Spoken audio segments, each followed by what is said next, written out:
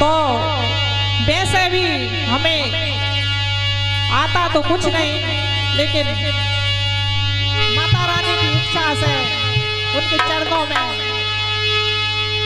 टूटा फूटा जैसा भी भजन है, उनके चरणों में भेंट करने जा रहे हैं।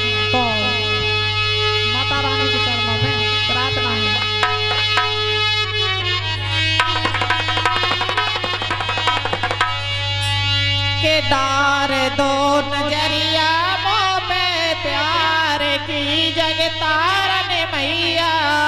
तार दो नज़रिया